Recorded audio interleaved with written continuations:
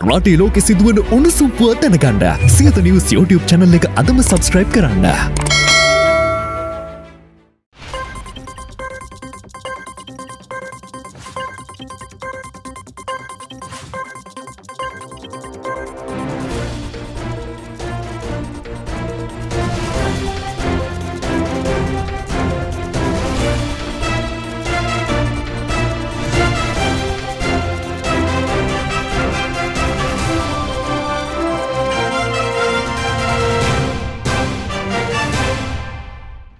ආයිබෝවන් කාලීන ප්‍රවෘත්ති වාර්තාකරණයේ අංක එක සැමට කලින් සත්‍යය හරියටම කියන සියත උදෑසන පුවත් විකාශයයි මේ මම රවිශ්කා ගම්ලත් ප්‍රථමේ නවදහනය පුවත් සිරස් තල වෙත. ජනපති ජපානයේදී රාජතාන්ත්‍රිකින් සහ ව්‍යාපාරිකින් හමුවෙයි. ශ්‍රී ලංකාවට එන්න ජපාන ආයෝජකින්ට ජනපතිගේ නැරයුම්. බොරුකීමේ රාජකීය කලාවේ රජවරුන් ඉන්නේ දියවන්නාව තුළයි. හොරබඩුගේනායටම රන් රිදී සහ කුඩු නඩුත් අහලා එයාලටම කැමති විදිහට කීයක් හරි ගෙවලා බේරෙන ක්‍රමයක් නීතිගත කරමුද කියලා අද ටෙලිවැකියෙන්. ප්‍රථමයෙන් දේශීය පුවත්. ජපානයේ නිල සංචාරයක නිරත ජනාධිපති රනිල් වික්‍රමසිංහ පසුගියදා රාජතාන්ත්‍රකින් දෙදෙනෙකු හමු වුණා. ඉන් අනතුරුව ජනාධිපතිවරයා ව්‍යාපාරික වටමේස සාකච්ඡාවකටද එක් වුණා.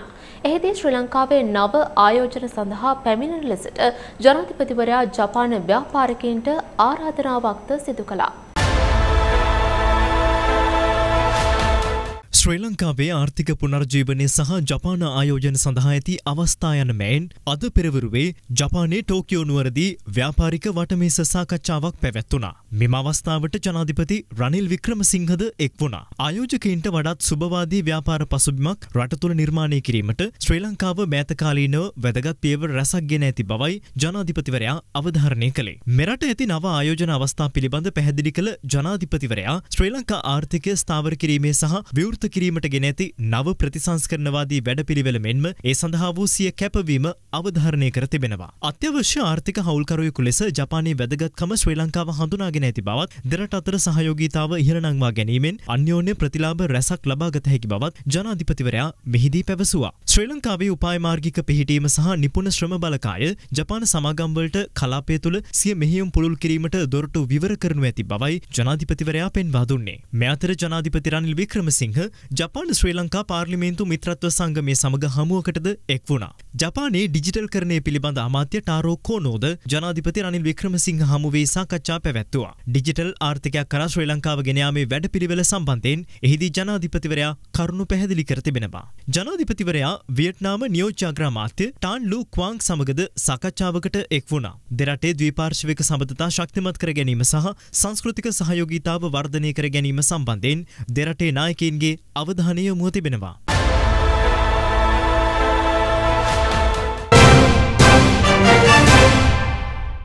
දූෂණය වංචාව නාස්තිය අක්‍රමිකතා සහ අකාරක්ෂමතාව ගැන රටට ඇත්ත කියන ටෙලිවිෂන් ටෙලිවැකිය දැන්. ටෙලිවිෂන් ටෙලිවැකිය මේ පසුගේ දවස්වල සමහර සිදුවීම් දෙස සිහිබුද්ධියෙන් බලන විට ඔබට දැන් එකක් පැහැදිලි. මොකක්ද ඒ මේ රට පාලනය වන්නේ මැති ඇමති මන්ත්‍රීලගේ විතරක් නෙවෙයි සමහර රාජ්‍ය නිලධාරින්ගෙත් වචනයට අනුව කියලා. එකන්නේ ලොක්කන්ගේ අභිමතයට අනුව කියලා. එකැන මේ රට පාලනය වෙන්නේ නීතියට අනුව නෙවෙයි කියන එක නේද. ද රූල් of ලෝ කියලා එකක් මේ රටේ නැහැ කියල තමයි මේ වෙන දේවල් දිහා බැලු හම පේන්ට තියෙන්නේ නේද. අද ලියන්නේ දෙසිය අසූ එක්වැනි ටෙලිවැකිය. ඒ පිළිබඳව තව උදාහරණ දෙන්ටයි සූදානම. හොඳම උදාහරණය අලි සබ්‍රි රහිම්. රත්තරං කිලෝ තුනහ මාරකුයි ජංගම දුරකතන අනූ එකකුයි එක්ක VIP පර්යන්තයේදී අහුනාම මේ මහජන නියෝජිතයා මොකද කරලා තියෙන්නේ මාව මෙතනින් බේරලා මට යන්ට දෙන්ට කියලා ලොක්කන්ට කතා කරලා උදව්විල්ලප එක නේද. ඒ කියන්නේ මේ පුංචි බබා රටේ නීතිය සුනකයට දාලා බේරිලා යන්න අගමැතිගේ අරයගේ මෙයාගේ ලේකම්ලට කතා කරලා තියෙනවානේ බලන්නකෝ මහලොකු මහජන නියෝජිතීන් හොර තක්කඩි වැඩ කරලා අන්තිමට මේ කටේ දිවේ ගෑවෙන්නෙත් නැතුව ලැජ්ජ නැතුව බොරු කියන හැටි වැරද්ද වහගන්න දේශපාලන බලය භාවිත කරන්ට උත්සාහ කරලා තියෙන හැටි බලන්න නේද? දැන් නීතියක් ඇති රටක් නම් මුලින්ම කරන්ට ඕනෙ මොකක්ද? මේ හොරගෙඩියාව අල්ලලා මීට පෙර ආගේ වතාවල ගෙනාපු දේවල් මොනවද කියලා හොයන එක නේද?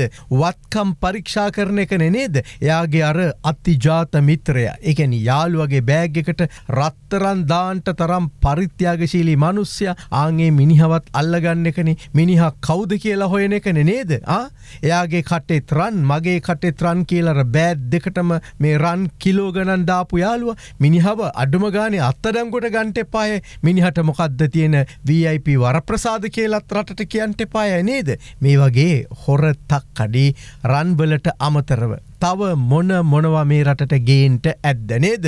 අවුරුදු හතලිස් පහකට පස්සෙන මේ VIP ලෝංචකේදී අහුවෙන්න කෙනෙක් වනේද මේ උන්දලගේ වත්කම්. මේවා විනිවිධ භාවයෙන්ට හොයන්න ඕනේ. හොඳේ එහෙම නැත්තං ඉතිං අපිට කියන්ට තියෙන්නේ කස්ටම් එකත්තු ගුරට හොරා බේත් කනවා කියලායි. හරිද දැන් බලන් ඉළඟ අර කෝටිපතියන්ගේ ගෙවල්වල මෙහෙකාර සේවයට එක එක ජාතිය ඔය වත්තු කරෙන් උතුරු නැගෙන හිරින් අහිංසක කාන්තාවන් ගේනවනේ දෙදැන් එහෙම ආපු දෙමල මෙහකාරයක්නේ අර නහයින් කටින් ලේ එන්න ගුටිකාලා මැරුව කියලා හතර අතින්ම දැන් චෝදනා එල්ල වෙන්න නේද?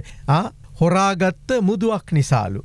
හොරාගත්ත බහන්ඩවල මුළුවටිනාකම ලක්ෂ දොල හයිලු. එතකොට කෝටි අටක හොරබඩු රටට ගේන්න හදපු නේද? අර උඹ බබා තීරියට අයිති මේ පාර්ලිමේන්තු මන්ත්‍රීවරයා කිසිම ප්‍රශ්නයක් නැතුව එලියට එනවා. දඩයක් ගහලා. එය ඇවිල්ල චන්දයදීලා කියනවා නේද මාව බේරගත්ත නැති නිසා මම ආණ්ඩුවට විරුද්ධව චන්දය දුන්නලු නේද. ඒවගේ වෙලාවට මාව බේරුණත් අනුදිල් වැඩක්දෙන් එක අනුද චත දුන්නේ. දැන් එකක් හරි පැහැදිලීනි හොරු එක්ක හෙළුවෙන් හිටගෙන ඉන්න හොරු කියලා දේශපාලනය මත නීතිය ක්‍රියාත්මක වෙන රටවල මේක තමයි තත්ත්වය.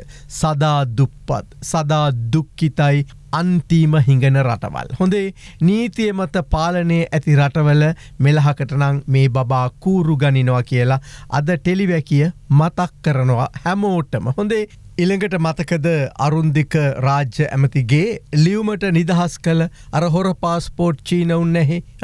ආගමන විගමන පාලකට නීතියක් නැත්ද නීතිය හිල්ද? අර රටම හිල්කූඩයක් වගේ ඒ නීතියත් හිල්ද නැත්තං කොහොමද රාජ්‍ය ඇමතිගේ මේ නීතියට චීන සහ ගිනි පාස්පෝට්ටොලින් රටට හොරාට ඇතුල්ලෙන්ටාපු මිනිහව නිදහස් කළේ රට ඇතුළට ගත්ත නේද. ඒ කියන්නේ ඉතින් නීතියට එහිලි නැත්තෙ කුමක්ද ඇමතිගේ ලියවම. ඇමති ලියවමකින් කිව් ගමන් ආගමන විගමන ලොක්කෝ සරම ඇඳගෙන ඔළුවෙන් හිටගෙන හරියෙනවද ඇ දැන් ඉල්ළඟට වුණු දේ බලන්න මහජන ආරක්ෂකමති ටිරාන් අලස්. අන්තිමට යා නියෝග කරනවා වහාම ඒ චීනව අත්තඩංගොට අරගෙන රටින් පිටුහල් කරන්නලු. කලාද නැද්ද දන්නේ නෑ එහෙම නියෝගයක් දුන්න නේද. දැන් ඒ ඇමතිත් ආගමන විගමනයට නියෝග කරනවා. දැන් මේ සියල්ල දිහා බලන්නකොට මතක් වෙන්නෙම අර මේ පැනලගේ හිටපු ජනාධිපති වරක් කිව්ව කතාව මතකද මගේ වචනය තමයි චක්‍රලේකය කියලා නේද. මගේ වචනය තමයි චක්‍රලේකේ ඒ අනුව ක්‍රියා කරන්ට කියලා අර රාජ්‍ය සේවකට උපදෙස් දුන්න මතකද මේ එක එක උන්දලගේ වචනයට හිතු මතයට ලියුම්වලට අභිමතයට රටක් කරන්න නම් මේ රටට සිවිල් සහ අපරාධ නීති මොකටද? එක එක ආයතනවලට විවිධ නීති සම්මත කරගන්න මොකටද?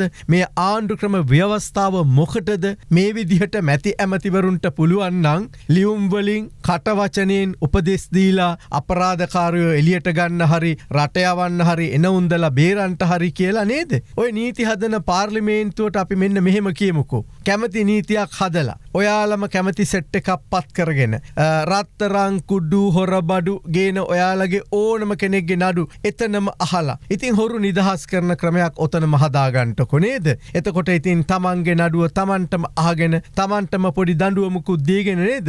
ෆුල් ආතල් එක සදාකාලිකෝම හොරකං කරගෙන ජීවත්තෙන්ට පුළුවන්නේ ඇ අර මැකයාවේලි කියපු හැටියට දේශපාලනය යනු බොරුකීමේ රාජකීය කලාව එහෙමන මැකයාවලි කිවේ නේද. දැ අපේ රටගත්තාම අපි ඕක වෙනස් කරන්නට ඕනේ. නීතිය කඩලා රාජකීය ලෙස හොරකම් කිරීමත් කරන්නේ දේශපාලනඥීන් සහ උන්දල එක්ක බැඳුණු නිලදහරි පැලැන්තිය කියලා නේද. ආංඒකට දේශපාලනය කියලා අපි හදාගම හොඳේ ඇත්තටම වියයුත්තේ කුමක්ද දේශපාලනය කියල කියන්නේ සත්‍යය පිළිවෙතට ඔවු සත්‍ය සත්‍යය පිළිවෙතට තමයි දේශපාලනය කියලා කියන්නේ. අපි සටන් කළ යුත්තේ නීතිය මත ඇති ආං ඒ සත්‍යය පිළිවෙත සඳහවන සිිස්ටම් චේන්ජ එකකට කියලා අද ටෙලිවැකිය අවසන් කරනවා. අනුග්‍රහය Give your international career a boost by being globally recognized right here at IIHS. Reserve your seat today. Call us on 0114 651144. මට දැන් ඉස්සරට වඩා හොඳට පේනවාමයි පුතේ. පෙනීමට එහාගිය දැක්මක්. විෂන් ප්ලස් ඇස් කන්නාඩී මතුගම. එම පුවතත් සමගින් උදැසන පුවත් විකාශය නිමාවට පත්වනවා. ඔබට සුබ දවසක්.